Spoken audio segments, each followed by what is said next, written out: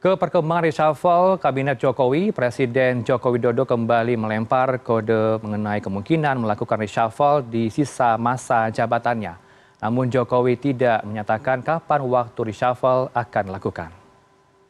Sebelumnya, lembaga survei Carta Politika merilis angka kepuasan kinerja pemerintahan Joko Widodo Maruf Amin dan kinerja Menteri Kabinet Jokowi. Meski responden puas terhadap kinerja Kabinet Jokowi, Tetap, tetapi sebanyak 61,8 persen responden setuju ada reshuffle kabinet.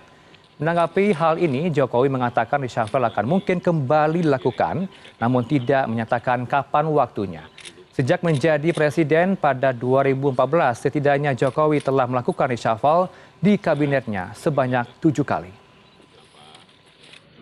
Ada lagi reshuffle Pak di ujung jabatan. Mungkin. Kapan Pak? tuh, Pak? Kapan, Kapan Pak waktunya? Awal tahun? ya nanti. Siap, terima kasih Pak. Presiden.